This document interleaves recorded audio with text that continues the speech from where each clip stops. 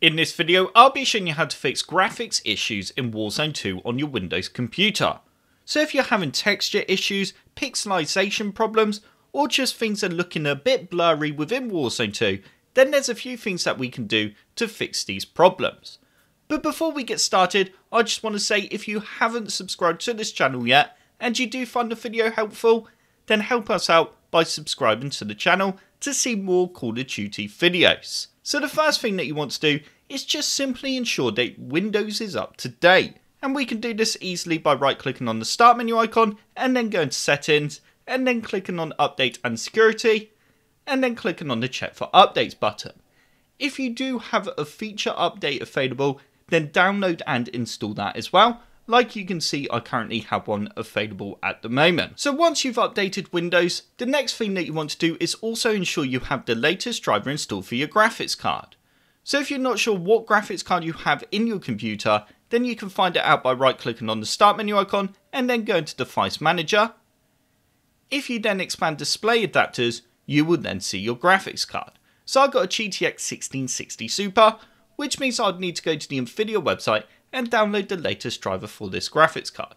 I will pop some links in the description below to our website where we have guides on how you can update an Nvidia, AMD and an Intel graphics card if you're not too sure on how you do this. So now that we've updated Windows and also our graphics card driver, the next thing that we want to do is also update DirectX. So DirectX is updated in two ways. It's updated through Windows updates, which is why I wanted you to check for Windows updates at the start of the video, and we can also manually install the latest updates for DirectX as well. So to do this, you need to click on the DirectX link in the description below, and you will end up on a page that looks like this. You now need to select your language and go download. Once the file's downloaded, go ahead and run the setup file. You will then see a window that looks like this. We need to click on I accept if you do agree to the terms and then go next. And then if you want to install the Bing bar, then that's up to you. I don't want to, so I'm going to deselect that. And then we need to go next again. It will now begin to check to see if it can install a newer version of the DirectX files to your computer. So as you can see, I already have the latest version, so that's all good. So if DirectX did update on your computer and you also updated Windows, and there was also a new driver available for your graphics card, now go ahead and try Warzone 2 and see if it resolves some of those graphical issues you've been having with the game. So the next thing that we want to do is clear the DirectX cache. And we can do this by opening up the start menu and then typing in disk cleanup. You now need to select disk cleanup and you then need to select your C drive and press OK. And you then need to find DirectX shader cache and select this option and deselect everything else and then go OK and then delete files. Once the DirectX shader cache has been removed, the next thing that we want to do is also remove the temporary files for your graphics card. So if you have an Nvidia graphics card, then there's going to be some old cache files, shader cache files that we can remove. If you have an AMD, then we can also do the same for an AMD graphics card. So to start with, I will do the AMD graphics card to show you how to do that. So we need to right click on the desktop and you then need to select AMD software. Next, you need to click on the settings cog in the top right hand corner. You now need to select graphics at the top, and we then need to scroll down and then expand advanced, and then scroll all the way to the bottom, and you will see reset shader cache. You need to click onto this option and then go OK. So if you're an Nvidia user, then we need to open up File Explorer. Once you have File Explorer open, we then need to click in the top and you now need to type in local app data and you need to do the percentage symbol at the start and at the end. Once you type that in, you then need to press enter. And we now need to find the Nvidia folder. So click anywhere on the list and then press N on your keyboard and you will then see Nvidia. You now need to open up this folder and you then need to go into the DX cache folder and then select anywhere and go Control and A and we then need to right click and go delete. You then need to go skip if you do have a warning saying that it can't delete a file that's just because the file is currently in use. Like OBS Studio for me at the moment is currently using that file. You then need to go back and then do the same for the GL cache. We need to just delete everything in that folder. Once you've done that, we then need to go back to the app data folder and we then need to go into local and we then need to find Nvidia again. You will then see the Nvidia Corporation folder. We need to open this folder And if you do have an NV underline cache folder within this folder, you need to delete the files in that folder as well. So as you can see, I don't currently have that folder, so that's fine. So now that you've cleared the cache for your NVIDIA graphics card or AMD graphics card, go ahead and try Warzone 2 again and see if that helped. If it didn't help, then the next thing that you want to do is turn off G-Sync or FreeSync, depending on what graphics card you have. So I'm an NVIDIA user, which means I would turn off G-Sync. And I can do this by right clicking on the desktop and then going to the NVIDIA control panel. Once you have the NVIDIA control panel open, you need to click on Setup G-Sync and you will then see the Enable option. You need to just simply untick this option and then press Apply. I'm not actually going to do this because I'm currently recording and it might mess up my recording. So once you disable G-Sync, try Warzone and see if that helps. If you're an AMD user, then you can do this simply by right clicking on your desktop and then going to the AMD software. Once open, you now need to select the settings cog and you then need to click onto the display tab. And we now need to simply toggle off the AMD FreeSync option. As you can see, mine now says disabled. Try launching Warzone 2 again and see if that helped. If it didn't, then you can always toggle it back to enable. You now need to open up Warzone as we have a few different settings that we need to change within the game. Alrighty, once you have the game open, you need to select the settings cog in the top right hand corner, and we then need to click onto graphics. You will now see a massive list of different graphics settings. So the first option we want to change is the display mode. So as you can see, mine is currently on full screen exclusive. If you click on the drop down, we have a few different options. So the first option that I want you to try is the full screen borderless. Once you've changed it to this, press apply settings at the bottom and then try launching into a game and see if that helped. Also ensure that you do have your display adapter selected. If doing the full screen borderless didn't help, then we then want to change it to full screen but the exclusive option. You would then see your screen refresh rate. We want to change this. So if you currently have it set to the maximum, like mine currently is on 144 for my monitor, then try lowering it to something else. So I could go with something like 60 or 75 and see how the game runs on that. So once you have played around with the screen refresh rate, see if that also helped fix the blurry and other issues pixelization within the game. If you're using a really low screen refresh rate, then try raising it to the maximum. So the next thing that we want to look at is the display resolution. So you want to use the maximum display resolution that you can. If you're already using the maximum, then it might be a bit too high for the game, causing issues with the graphics. So try lowering it slightly.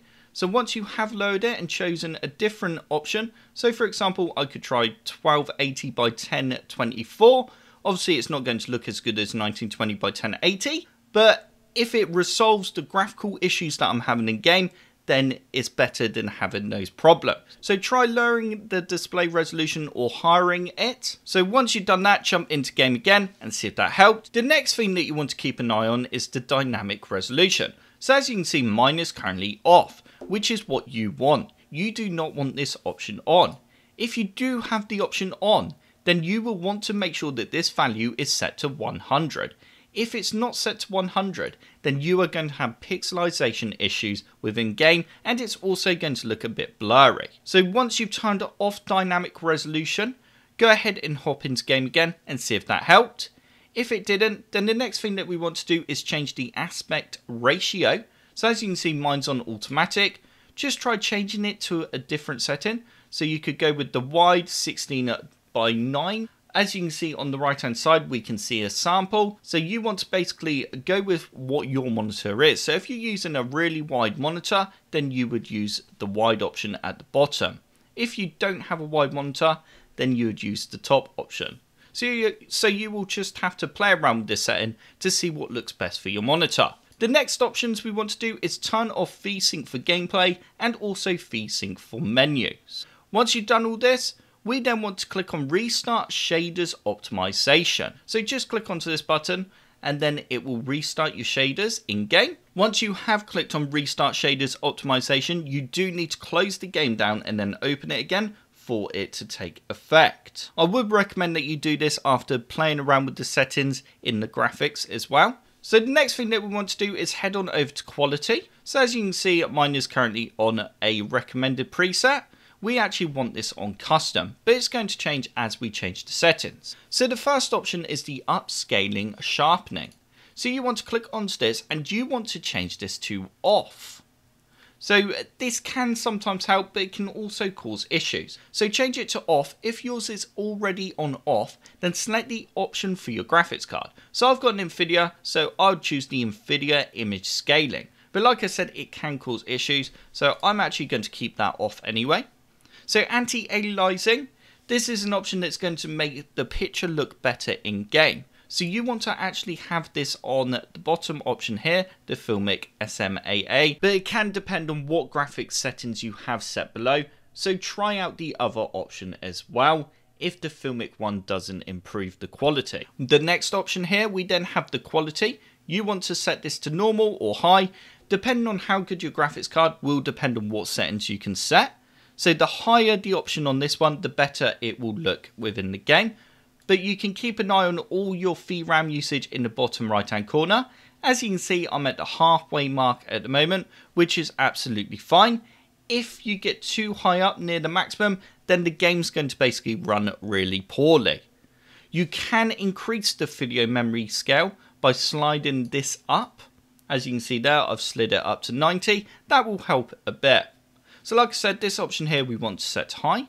If you scroll down more, texture resolution, you want this on normal or high as well, but straight away you can see the VRAM, that's really chumping the VRAM usage up. So we then need to scroll down more. These options are all okay. If you have some of these settings too low, then they can cause issues. So for example, if you have nearby level of detail, if I set that to low, then everything that's pretty close to me won't look very good. So we want the nearby objects set to high. But stuff at a distance doesn't matter so much. But again, it depends on your graphics card on what it can handle. So if we scroll down a bit more, so the next options that we want to look at is terrain memory. You want to have this on max.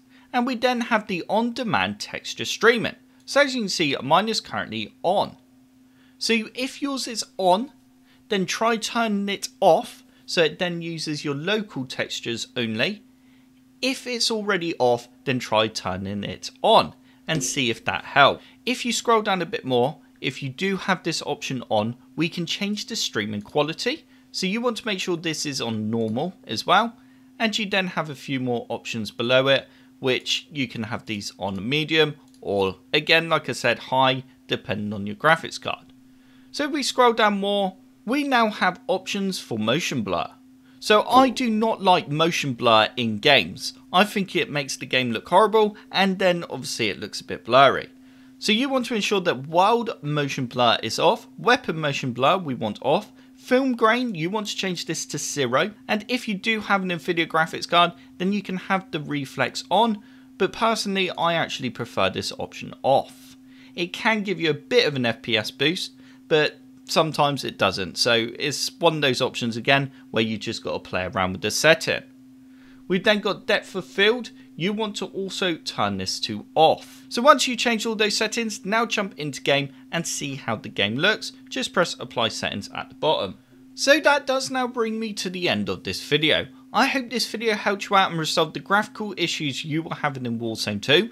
I will pop a link in the description below to a guide that I will do which I will add more methods to if I can think of any. So if you did like the video, click the like button below, and if you'd like to see more computer sluggish videos, then click that subscribe button. If you do subscribe, then I will see you in the next video.